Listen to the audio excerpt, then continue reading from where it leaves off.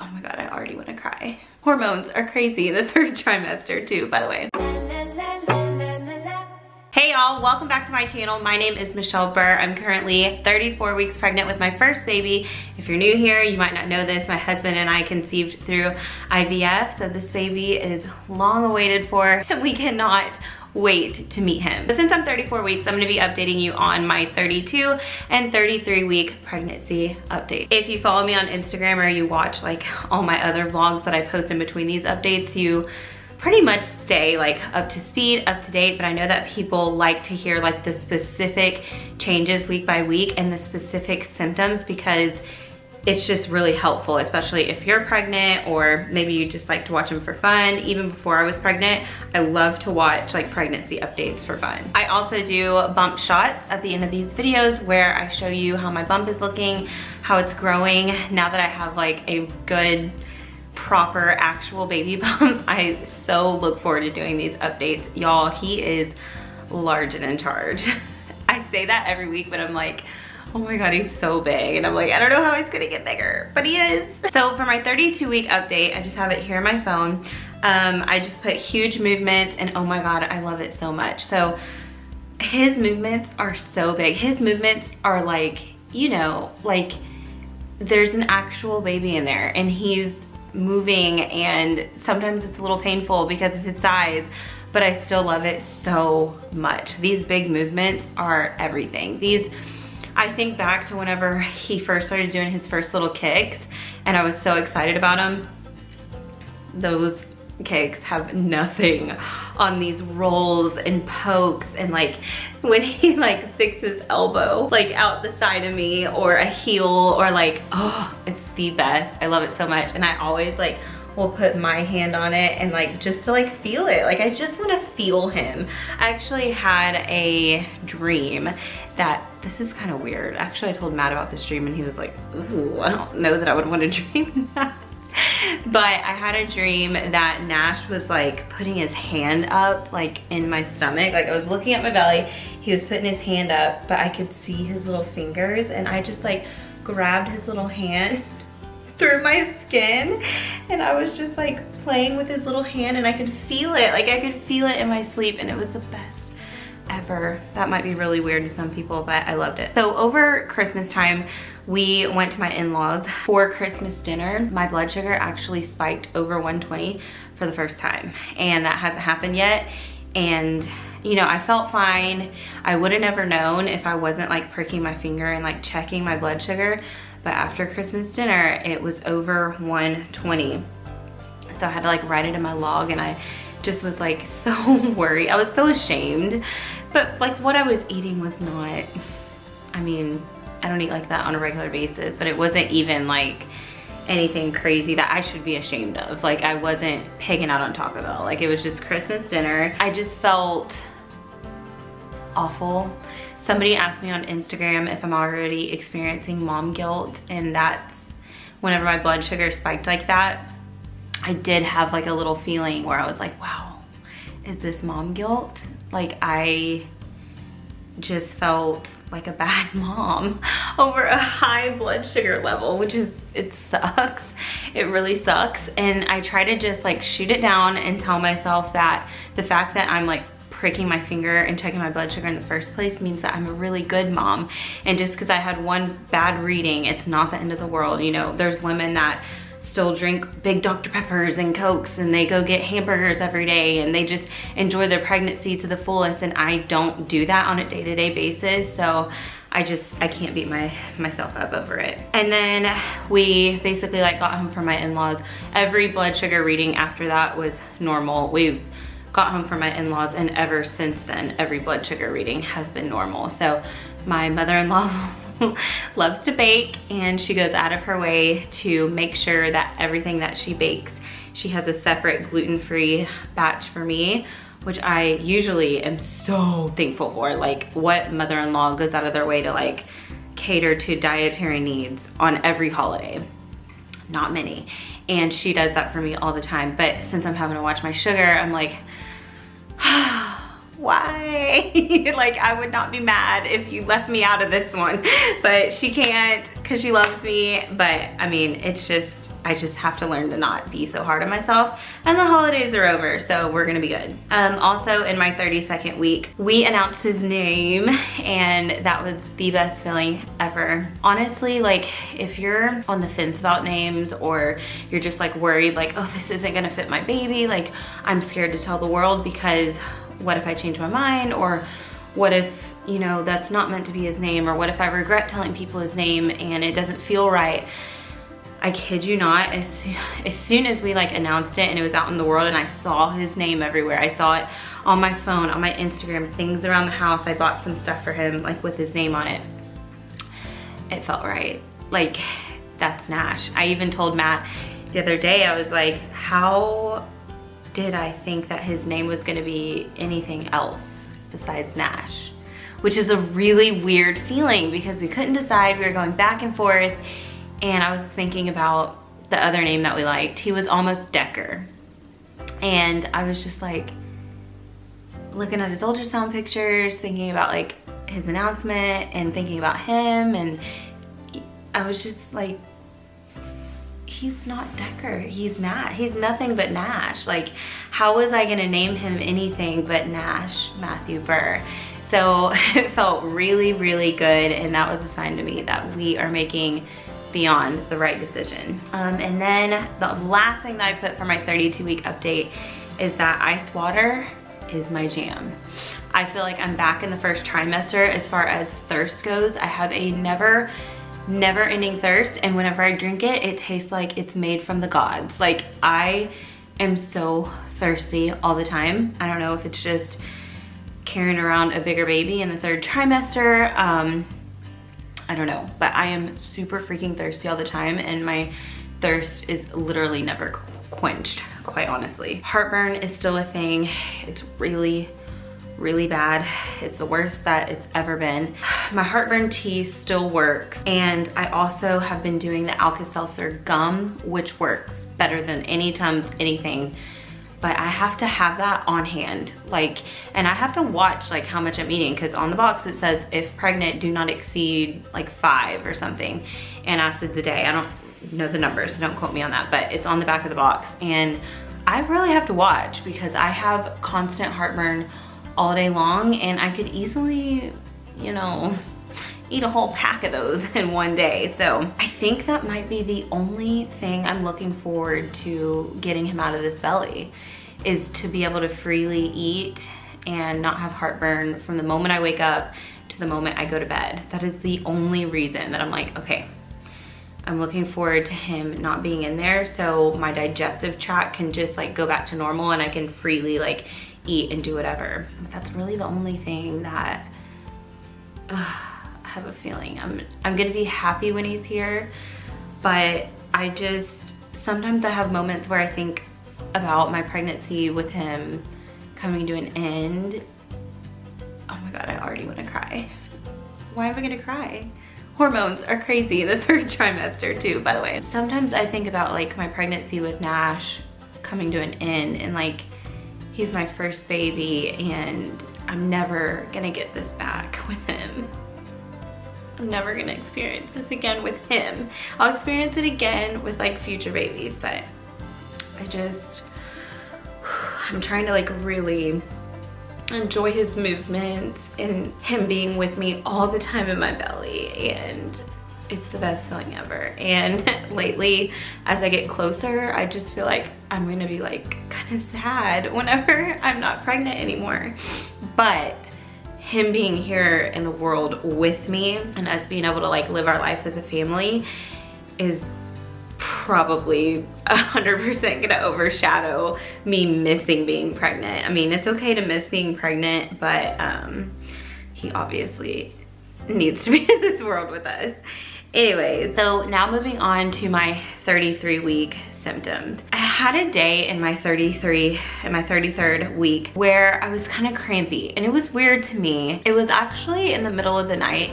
My friend Whitney was like, hey, maybe you, you, you know, you're thirsty all the time but maybe you didn't realize that you might have been a little on the dehydrated side because you can get dehydrated really easily while you're pregnant and it can cause like little cramps in your belly, but they're just like dehydration cramps. So I would like wake up in the middle of the night and before below my belly button was like really sharp-ish cramps, like a period cramp. And um, it would just, it, it kind of came in a few waves. And so I was like, holy shit, like are these really, really, really light starting contractions? But then they eventually just went away and I was able to go to sleep. So either it was like growing pain cramps, it didn't feel like round ligament pain, like it was actual like period cramps. But they went away, I went back to sleep and it hasn't happened in a week. So I could have been just a little bit dehydrated and my uterus was cramping a little bit. I'm not sure. It was really weird. It was really random. I knew that everything was okay in my heart, but there's also that like little thing in the back of your mind where you're like, oh God, what if something is about to happen? Like, especially because I was only 33 weeks and things shouldn't be happening. So it was a little worrisome, but the fact that it completely went away we're good. And then I had a few days of like extreme tiredness too. And this is the first time that I've experienced extreme fatigue and tiredness since the first trimester. Cause y'all know how it is in the first trimester. You are just the most tired that you've ever felt in your life. Like you thought you've been tired before in your life but no, ain't nothing like first trimester pregnancy tired or fatigue. And I started to feel that again for a few days this past week. And I just told Matt, like, it's so weird. Like, why am I so tired? Why am I so tired? I kept saying, why am I so tired? Why am I so tired? And he's like, babe, I think that's pretty common for your third trimester. Like, you're gonna start slowing down. And I'm like, what? If you take anything from this video, take this. I am so freaking glad that we did the majority of the nursery, like pretty much all the big stuff of the nursery and then I could do just like little things, little at a time in the middle endish of my second trimester. I am so glad. You have those days where you're so tired that you do not give a shit at all. Like there's days that I was just so tired that there were things in the house that needed to be done that I could not care less. There were things in the nursery that I literally didn't care and I'm like, you know what, it can wait even if I don't do it until the baby's home with me, it's not the end of the world. That's how tired I was. Um, and I kind of really wanted to do things early because people told me like, get a lot done in your middle to last part of your second trimester because you will be tired. And I'm just now starting to experience that. Also because I do YouTube and I upload videos to share with y'all and help y'all with like hospital bags and I'm gonna do a nursery tour, nursery organization to hopefully help y'all I do, I did choose to th do these things just like two weeks earlier, like a little earlier, just so I can have the time to like film, edit, upload, get y'all's feedback, change things if I need to. So doing YouTube definitely has me doing things early, but heck, I am glad that I did. I also put that I'm definitely getting the waddle. I just now noticed that when I'm walking. I kind of like am tilting my pelvis a little more up towards the sky and I'm kind of like waddling a little more. So I'm getting the pregnancy waddle as this belly grows and everything starts to stretch and open and expand for the preparation of labor. And then I put that my appetite is officially gone. Heartburn has a lot to do with that. I don't wanna eat because of how bad my heartburn is, but also my appetite's just gone. I mean, when your belly is just full of baby, your digestive system is it don't know what to do. It just doesn't know what to do. All this week I haven't had dinner. I just am literally living off of apples, peanut butter. I've had a random craving for cheese lately and then I'm like, maybe I'm not getting enough calcium for the baby. That's why my body's craving cheese. So I've been eating cheese just random stuff, gluten-free pretzels, like that's my dinner, pickles and popcorn. I just can't imagine having a highly seasoned, full, warm meal at dinner, if that makes sense. Let me know if you can relate to that. It's like a really weird feeling. At the end of my 33 weeks, which was yesterday, I had a day of like no movement from the baby. Whenever you're having consistent, big, constant movements and then didn't feel movements from him for most of the day. It was really alarming, especially you notice that your baby has like habits and routines. So I know that after I have my breakfast and I sit down to edit or I sit down to reply to comments or whatever I'm working on, he's always, always kicking, like kicking my ribs. Like it's like the cutest time. We do it every day. So when that doesn't happen, y'all can probably relate to this, it gets in your head and it really messes with your head. And so I was really worried about that.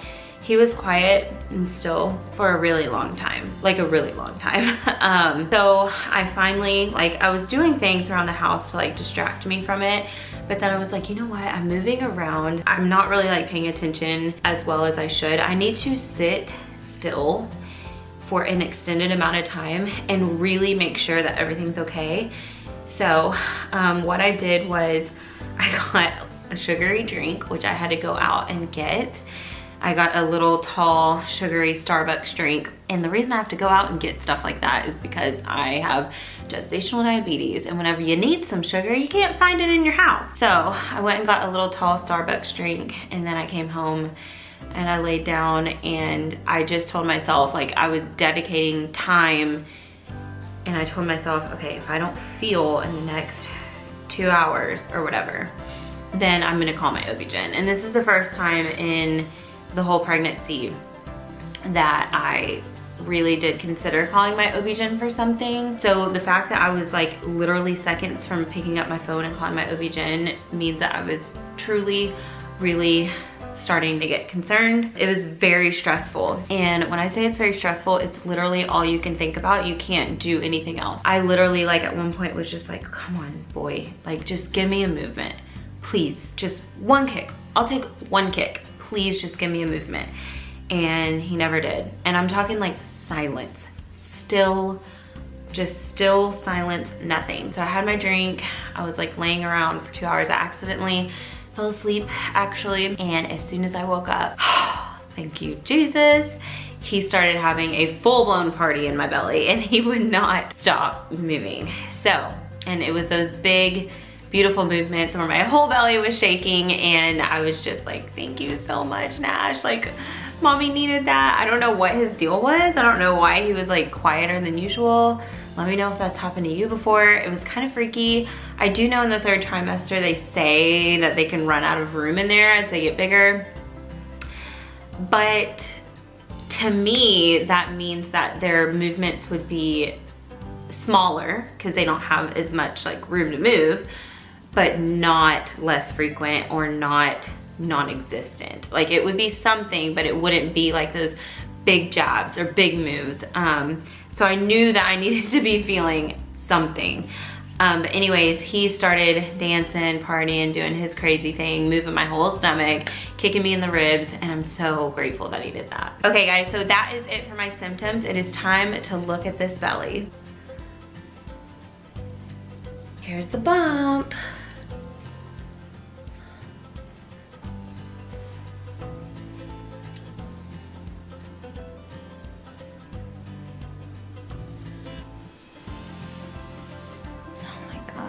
So much.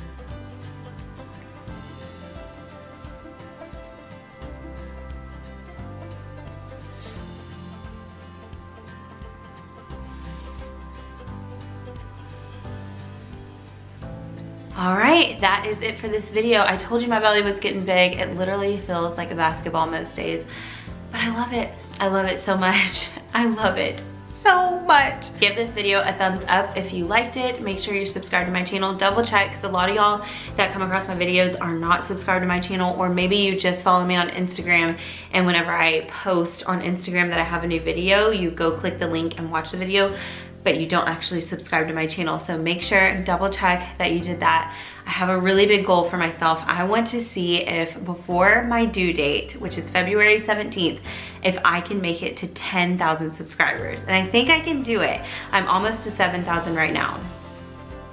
I don't know, is that crazy? What do y'all think? Is that crazy? I just think it would be really, really cool. So double check, make sure you're subscribed, send my videos, videos to your friends, tell them to subscribe. I really want to reach 10K before the baby's here. How cool would it be to be celebrating a new baby and a 10,000 subscriber milestone? Anyways, guys, thank you so much for watching this video. I'm so thankful for you and I'll see you in the next one. Bye. Before I'm doing this ask you all my questions, get to know you better.